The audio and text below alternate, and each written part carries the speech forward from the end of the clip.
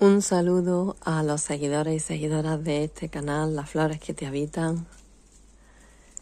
Y este vídeo está especialmente dedicado a aquellos amantes de nuestro patio, del patio de la calle Marroquíes. Estamos a 3 de septiembre del 2023. Y así se encuentra, en este estado se encuentran las gitanillas de nuestras paredes tras un verano agotador de altas temperaturas muy sostenidas a lo largo de, del mismo. Sin embargo, aquí esta higuera, como podéis ver, todavía está dando higos. Es el primer año que llegan sus frutos hasta septiembre. Hoy están cayendo las primeras gotitas de agua después de un largo estío. Y las tareas que en este momento estamos realizando en el patio pues son de limpieza de hojas y de plantas secas que en algunos casos se quedan así como esta esperando brotes nuevos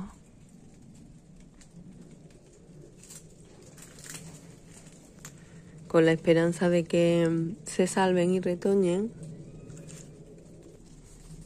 también nos atrevemos a sembrar algunos esquejes de gitanillas, como es este caso, sin saber si todavía agarrarán. Y luego tenemos muchas macetas vacías como esta. Las bugambillas siguen dando color al patio y le han dado sombra durante estos meses a las plantas que se ubican bajo ella. Sin embargo, a pesar de eso, en esta pared solo han sobrevivido estas dos. Por aquí siento que viene Juan, que irá a dar su paseo matutino a pesar de la lluvia. Buenos días, buenos días, amiga. Buenos, Buenos días, Juan. Veo que hoy llevas paraguas, ¿eh? Sí, Después está de tiempo, este... Ya, está- ya es- ya era hora que lloviese.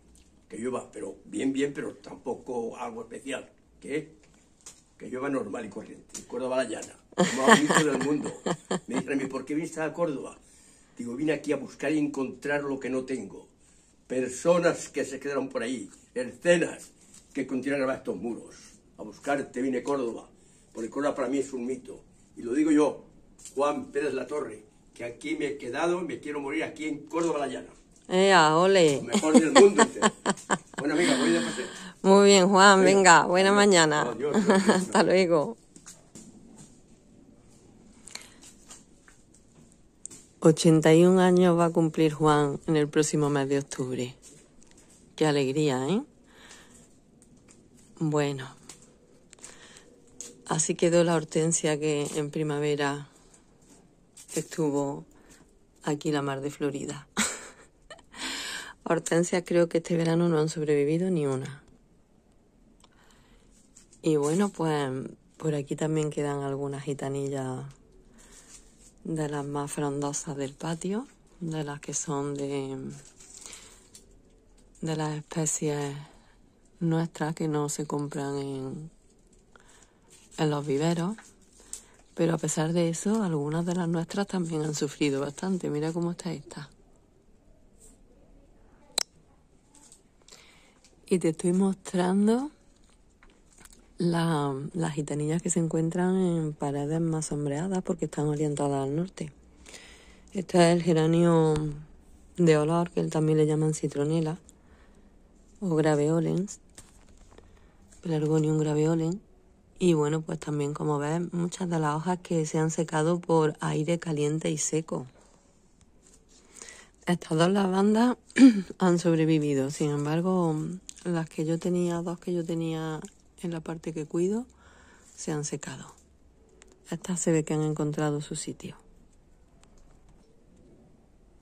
Bueno, y aquí una imagen del pasillo central donde la bugambilla sigue siendo la alegría del patio, junto a este frontal también muy afectado por las calores. pero en el que podemos ver algunos pelargonios que gozan de buen estado. Por supuesto los aloes vera. Allí tenemos calanchoe, cactus, otras plantas crasas y el laurel, que también está frondoso. Esta bugambilla está ahora espectacular. Si no fuera por la bugambilla, qué tristeza reinaría. Bajo ella han estado más protegidas y sin embargo los rayos de sol han llegado a quemar esta costilla de Adán que está en algunas de sus hojas preciosas, las que están más protegidas.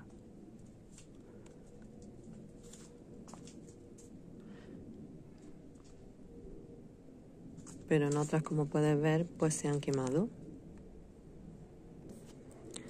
Imagínate, incluso las cicas revolutas están amarilladas por el exceso de radiación solar.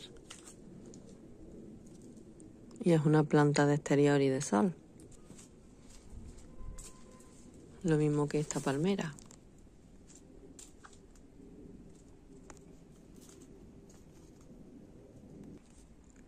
Bueno, mira, aquí me he encontrado a otro de los habitantes del patio muy bien colocado. Hola Chiqui, ¿cómo estás? Estás ya cogiendo el primer sueño de la mañana, ¿no? Chiqui sale por la noche de paseo y duerme por la mañana, como es normal en los gatos.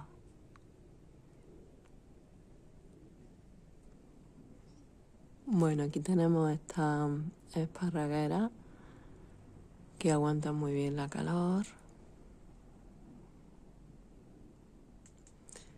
Y las plantas crasas en general también. Mira qué fachada de gitanilla disecada.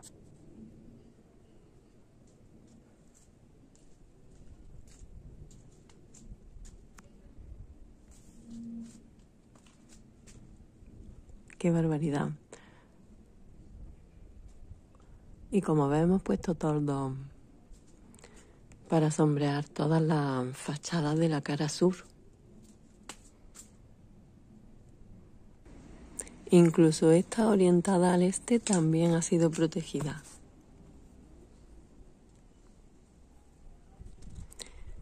Los rosales son otras plantas muy resistentes, sobre todo si se encuentran sembrados en, el suelo, más que en macetas. Y este pues está en el suelo y hasta se ha atrevido a echar ahora alguna rosa. Que en pleno verano no lo hace. Pero llevamos una semana donde ha refrescado un poquito.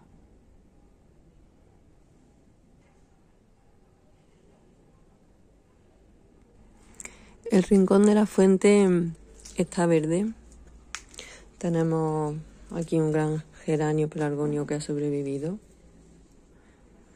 Y también gitanillas de las antiguas. Aquí se puso un toldo para proteger sobre todo las gitanillas.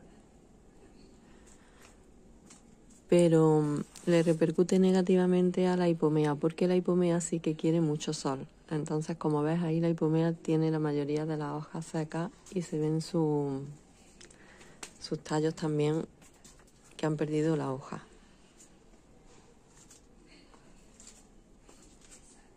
Sin embargo, las partes altas que están soleadas, pues tienen hojas verdes y flores.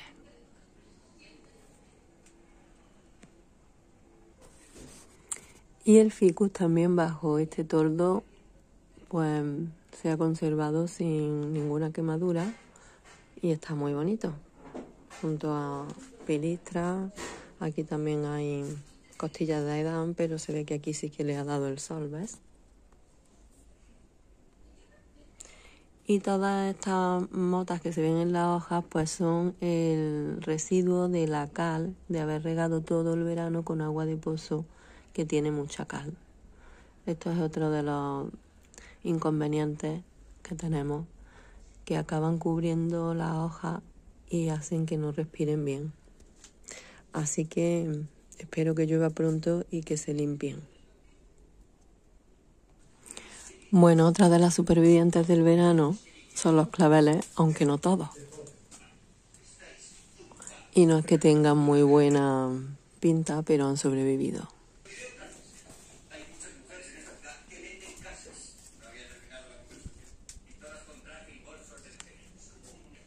Aquí tenemos una flor del dinero muy bonita, pero que está amarilleada también por el exceso de cal, aunque algunas hojas también tienen signos de quemadura. Pero bueno, ha sobrevivido.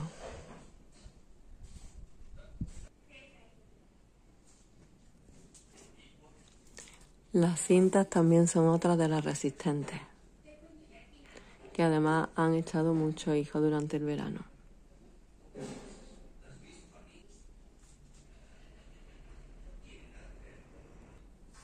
El jazmín estrellado,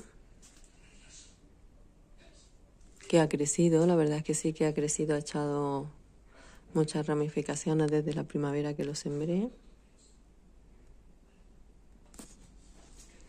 Los cuernos de arce también se han adaptado muy bien al verano cordobés y llevan ya seis o siete años acompañándome aquí en este rincón y en verano crecen más que en invierno. Bueno, y entre las flores tenemos a los príncipes, que son flores de verano, aunque tengo que reconocer que cada mediodía, desde hace un mes que están conmigo, las he quitado de aquí del patio para protegerlas porque se ponían muy lacias. También tenemos a las crestas de gallo, que tengo este ejemplar muy bonito. Aunque creo que le hubiera gustado más sol. Lo tengo aquí bajo los tordos y quizá a pleno sol hubiera florecido con más alegría, creo yo.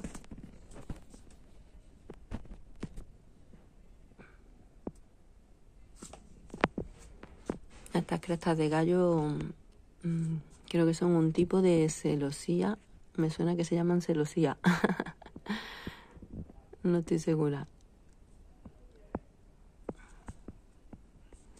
Y entre las plantas aromáticas pues tenemos como reina del verano a la albahaca. Esta sí que está aquí contenta, aunque también está protegida bajo tordo, le da el sol filtrado. En fin, pues nada, aquí tengo todos mis cubos desplegados para coger agua por si llueve. Ahí bajo los canalones tenemos todo preparado porque el agua de lluvia, si riego con la misma, pues ya sabemos que tiene mejores propiedades para el crecimiento de las plantas, además de que va a limpiar la tierra también del exceso de cal. Mira cómo está este árbol de jade, que está muy bonito, pero también tiene todas sus hojas llenas de residuos de cal. Un saludo para la Almunia del Sur y agradecida por estas plantas que nos regaló al patio hace un par de años, de la cual todavía conservo pues este Plestrantus amboinicus que a punto estuvo de morir en invierno, pero he conseguido estas dos macetas que tienen buena pinta, ¿verdad? Italinum patiniculatum también es otra de las plantas de la Almunia del Sur que sigue por aquí viva en el patio, aunque todavía no le he encontrado yo el punto a esta planta. Ahora está lacia y tengo que revisarle las raíces para ver si es que tiene bichos porque ni la riego mucho ni la riego poco. la riego justo cuando le veo la tierra seca. Y sin embargo, hoy me ha sorprendido su laxitud. Miguel, y muy a pesar mío, el geranio que me regalaste durante los patios, que lo tenía aquí bajo el sol de la mañana, en la puerta del taller, pues acabó pereciendo. Bueno, pues me voy despidiendo. Aquí está Tui medio adormilada. Ahora le voy a abrir la puerta para que salga a hacerme compañía en el trabajo de poda y limpieza de nuestra gitanilla, ¿verdad, Tui? Como está el día gris, está ahí un poquito adormilada. Bueno, pues me despido. Un fuerte abrazo para mm, los seguidores y seguidoras de este canal. Y te mando el aroma dulce de mm, esta diamela, que es un tipo de jazmín que también le va muy bien al verano cordobés.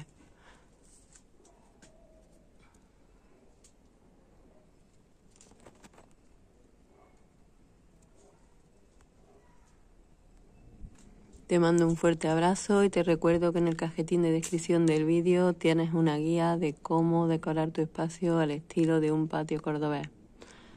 Chao, hasta el próximo vídeo. Y llegó la lluvia. Justo cuando acababa de limpiar todas las gitanillas secas de los tiestos.